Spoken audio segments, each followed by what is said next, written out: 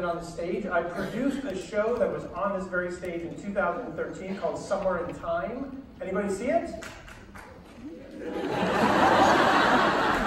so today we're going to talk about failure. now, I'm thrilled to be back in Portland. Uh, I spent about four to five weeks here creating that musical. We create musicals out of town and then we get them to Broadway or not. Uh, and I remember getting here and talking to a lot of you and just being amazed at the people, the environment, the arts, and I just, when I remember going up to someone and being like, this, this place is amazing. Portland is incredible. And they were like, yeah, yeah, do us a favor. When you get back to New York, do not tell anybody that. we don't want any more of you out here. Uh, so, no, seriously, thank you for having me. Uh, I've I'm having a lot of fun so far, and uh, I speak at a lot of conferences, and if you promise not to tell the other conferences, I will tell you that this is one of the coolest ones I've ever been to. Uh, I want a, a big shout out to the creators of CreateCon. For all you entrepreneurs or creators out there, I'm sure you can understand this feeling that sometimes it can feel very lonely doing what we do. And to be in a room of 500 other like-minded, passionate people who want to create something is just really fun for me. And kudos to you for showing up. Uh, in a world in 2019 when it's so easy to stay at home and connect with people, uh, to know how important it is to actually get in a room and connect with people in person, face to face. That's an incredible, incredible asset, and you owe yourself a pat on the back for showing up today. Uh, so, all that aside, let me just tell you a little bit about myself. Uh, you're probably wondering, I will tell you that I wear a lot of hats. Okay, I do a lot of things in the business. Um, but here's that very typical introductory slide that exists in all PowerPoints. So uh, you heard some of it, yes, I've won a couple Tony Awards. I've raised over $50 million to produce the 25 shows that I've done. I was recently named to the Inc. 5000 list of the fastest growing companies in the US and one of the, the first Broadway producer uh, to be assigned to that list. So I was proud of that one. Um, yeah, pretty good. My mission, as you'll hear about later, is to get the arts and the theater everywhere I can. So the fact that I can get on that list with all those other advertising agencies and companies meant a lot to me. So uh, I am Andrew Lloyd Webber's executive producer, so that means no Cats jokes. I don't want to hear them. Uh, and he's listening, trust me. Uh, I'm also a new dad and a mediocre golfer who dreams of playing Augusta National someday. So if anyone out there could hook me up, I'd appreciate it. Uh, the fact of the matter, all these resume credits aside, what I really do is I create stuff. That's what I do. So to give you an example, I've created a whole bunch of off-Broadway and Broadway shows, came up with the idea myself, wrote several of them, and then got them produced and onto an off-Broadway or Broadway stage. I did create the only Broadway board game that's out there right now. It's called Be a Broadway Star, and it's one of the top-selling Broadway gifts on Amazon.com. Thank you, Jeff Bezos. Uh, I created an app uh, to tell you what was at the TKTS booth in Times Square. It made the Entertainment Weekly must list in 2010. I created an award-winning web uh, series called The Bunny Hole. I created a blog, a podcast, and a membership forum where a whole bunch of people can get together and talk about how to get their ideas for shows off the ground. I created a documentary. I created a bunch of books. I create stuff. That's what I do. I create a lot of stuff. Okay? And at first glance, all those things may seem different. Yeah, they're the, under the umbrella of the theater industry, of the entertainment industry, but what the heck does a Broadway show and an app and a board game have in common? Well, I'm here to tell you that every single thing I've created, everything, has one thing in common. And I want to share that with you today in the hopes that it will help you create whatever it is you want to create, whether it's something on your own or whether it's just an idea in whatever company you're working for okay? I started my career in management of Broadway shows. I worked on over 10 big Broadway shows. I was a staffer. I got a paycheck. I was that guy. All the while dreaming about producing and being what I call an entrepreneur, combining business and the arts. My career as a staffer led me to be in touch with this man.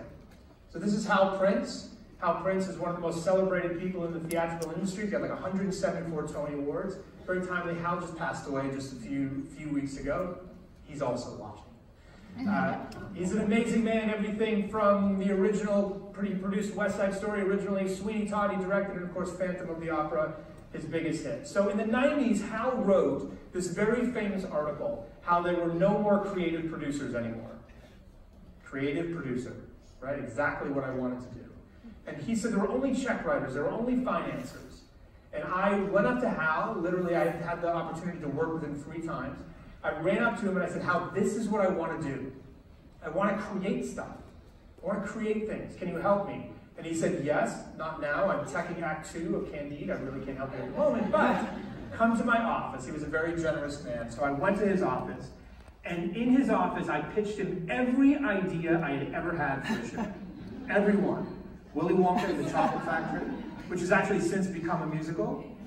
I think I would have done a bit of a better job, but that's between us. Uh, I also pitched him a musical based on this book called The Mole People, which is about the, the homeless population that lives in the subway tunnels of New York City. It's probably the worst idea for a musical ever. and Hal listened. Uh, and in about my 15th pitch, he stopped me. And Hal said, Ken, do you remember the first show I ever produced? And I said, no. And he said it was the Pajama Game. Don't come out of the box trying to produce West Side Story, Ken. Be happy if you get the Pajama Game. Ran for a couple years, made people laugh, made me a little money, and it got me started. West Side Story was my third show. So this thought rang so true in my head. Because look, I was in my early 20s, and something that many young men have in common in their early 20s is they think they know it all, and they think they can change the world. And the fact is, I was not ready to produce Willy Wonka and the Chocolate Factory. And I was not ready to do those things. And Hal's advice as I was running out the door was, Ken, just do something. Produce anything. Get started. So I went home that day, and I started work on an idea I had years before, but I actually didn't think was important enough to start. It wasn't what I wanted on my tombstone. It wasn't West Side Story. And that idea was based on a small interactive show called Tony and Tina's Wedding. People know the show? It's a live show. Oh yeah, I've been, right? Uh, it's an Italian wedding. You dance with the bride, you eat cake, you have a good old time. So Tony and Tina's wedding had been ripped off like 17 times. Joey and Maria's wedding, there was Grandma Sylvia's funeral, there was Bernie's bar mitzvah. They were just like one after the other. So the business guy in me said, there's obviously something about these reality shows, right? Something about these interactive shows that audiences enjoy. And they're all about milestone events in people's lives. So what's a milestone event in my life that I could base a show on? Well, what about the prom? Prom's a big moment in a lot of Americans' lives. You're turning 18, you're going off to college, your first formal dance, etc. Well, that seemed interesting, but wasn't interesting enough. And then I thought, what if I said it when I went to the prom? What if I said it in the 80s? So all of a sudden, I had this idea for this interactive show set at a high school prom in 1989 that we ended up calling Wanna Get High. I mean, usually it takes a little bit for that one to roll. I thought Portland would get that much sooner than other places, but apparently not. Um, so there I was, I had this idea. This interactive show set at a high school prom in 1989. And I said, Hal's told me to do something, do anything, so I'm going to do it. I sat down, popped open my laptop, and I stared at that blank screen and that blinking cursor that just haunts you. it's like a metronome, right? Write something, write something. And the fact of the matter is, that is when I knew I didn't know what to do because I had never done this before. And I sat there paralyzed because I didn't know what to do. Right? And this is the moment. So this is it. This is the moment that separates leaders from followers, creators from consumers. For all you entrepreneurs out there, people that want to create, this is that pivotal fork in the road. What are you going to do at this moment? How are you going to get through and create something? You have that choice. Or you have the choice to not and stand absolutely still and do nothing. And this shit is hard. it's hard. It's what Peter Thiel talks about in his book, Zero to One. Anyone read this book? I strongly encourage anyone that wants to make anything read this book. Fantastic study of going from nothing, zero to one. It's much easier to go from one to two. And I was just reading an article, this isn't in my planned uh, speech, but I was just reading an article about how many Game of Thrones fans out there, right? Yes. I was reading an article about how tourism among the sites where they shot is spiked. Right? All these businesses are being created off the back of Game of Thrones. That's one to two. George Martin created Game of Thrones, went from zero to one. That's the hard part, right? That's the hard part. Well, I'm going to teach you how to do that with a very simple method that I use that's that one thing that I have in common with everything I've created. How I do it? I play tennis. No, I'm not talking about going to a tennis court like all zen I'm just going to hit balls and then I'll get divinely inspired to create something new. That's not what I did. And I'll tell you how I created the Awesome 80 Prom. This is that show that I was talking about. This is what it became. Using this entrepreneurial method that I call serve the tennis ball. That's what I do. So I sat there and I thought at my empty desk and that blinking cursor, I need to start this process of creating this show. And I know it's going to be based on improv, right? I know there's going to be actors roaming about, so I need actors. Okay, I know I'm in New York City, actors are everywhere. so if I place an ad in the local trade paper looking for actors, I know that I will get flooded with pictures and resumes, and they will stack on my deck. And I'm a little bit OCD, I'm a little bit anal retentive. I can't have anything on my desk at the end of the day. It has to be cleaned off. If I have a stack of pictures and resumes, I'll have to do something about it. So what I did was serve the tennis ball.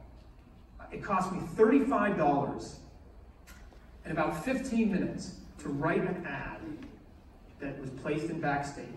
And sure enough, later that week, my desk is stacked with 100 pictures and resumes from hopeful actors all over the city.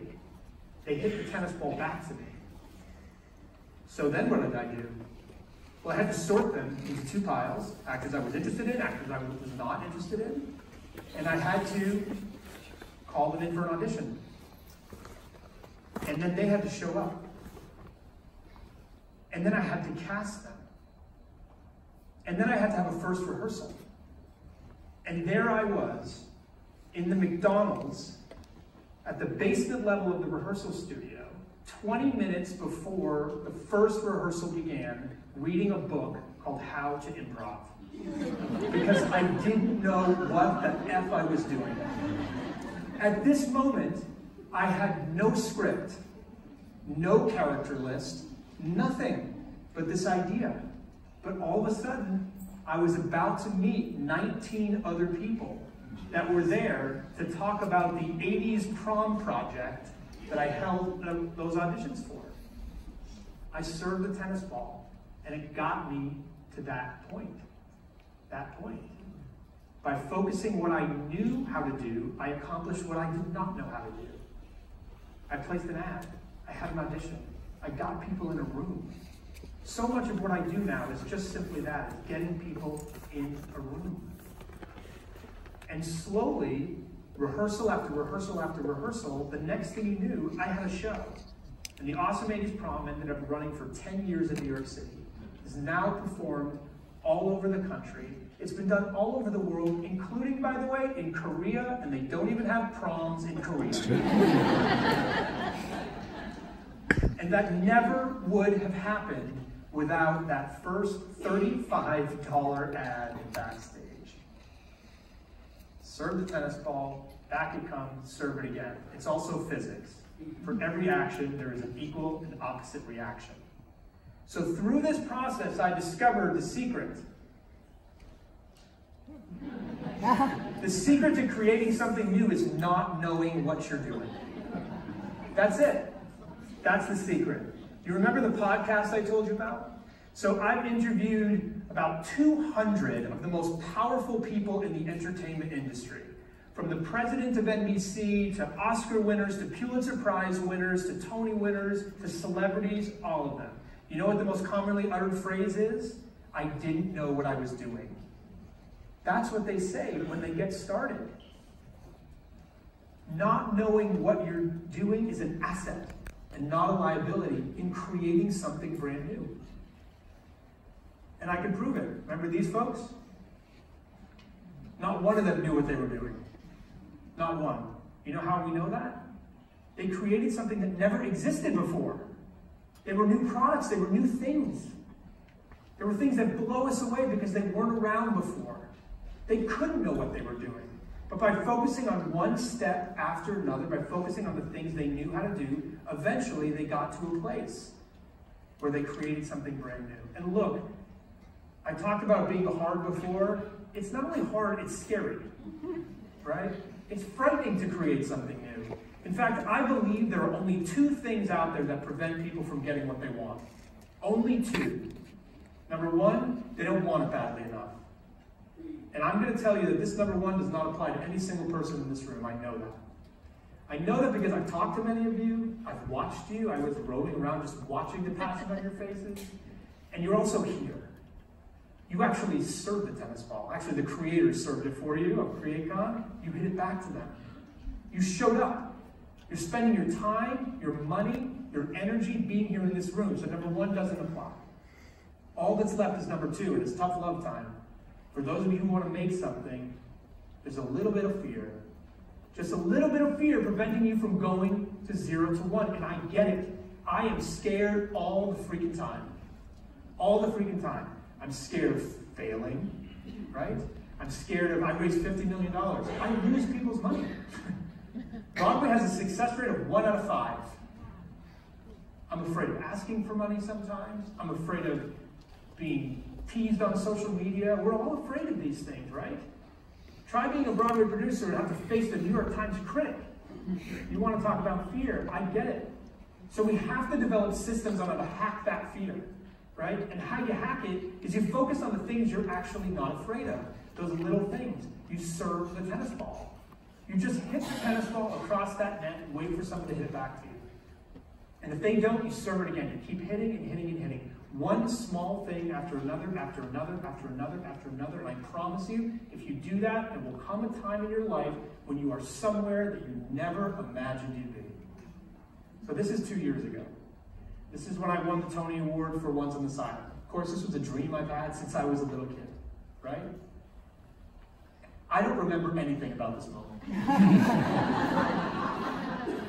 Nothing. Actually, I remember like running up to the stage and seeing Tina Fey's leg and being like, that's Tina Fey's leg. Like, that's about it. that's about it. But when I got to the stage, I will tell you there's one moment right before I spoke, and I've, I've since watched my speech, but right before I spoke, there's a moment where you can see me take a second before my mouth opens. And I remember thinking as I stared out over the thousands of people in that room and thought about the millions of people watching, and I thought, how did I get here? I don't get it. Looking back now, I know I got there by serving the tennis ball. Very quickly, for once on this island, the tennis ball was, I worked with an incredible director named Michael Arden.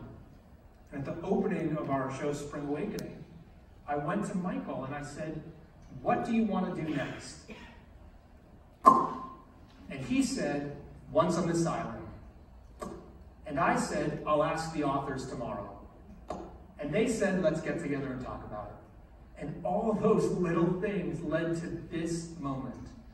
And when Michael asked me, I never thought, oh, we're going to win a Tony for this one day.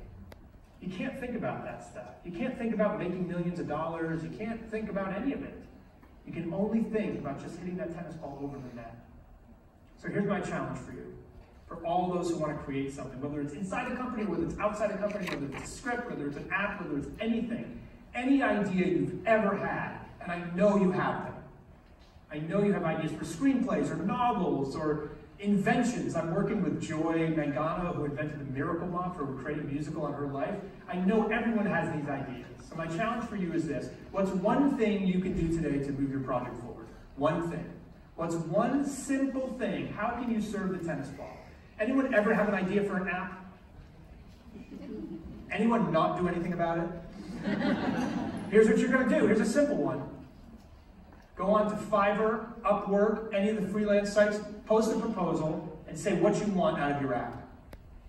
Because even if you don't know how to create an app, someone will respond and say, I know how to create this. That's all you need to do. Join a writer's group. It's as easy as, Google. remember I said, I built that board game? You know what the tennis ball was for that? Google how to make a board game. if I had never done that, the thing wouldn't be on Amazon today. There is incredible potential in this room. Incredible potential. I know it because I've been roaming the halls, I've been watching, I've been listening. And there's one thing I hate more in the world is that it's unrealized potential. You owe it to yourself and you owe it to your idea to take that one little step and watch what happens afterwards. Because here's the thing about ideas. They're actually worth nothing. Zero. Everyone can have an idea. Not everyone can make it happen. Proof that an idea is worth nothing, you can't copyright them. You can't. They're not protected by law. They're only protected when you make something from the idea. And as you make something, as you do something, if ever along that process you find yourself saying, I don't know what the F I'm doing, you should smile. Because that's when you know you're onto something amazing. Thank you very much.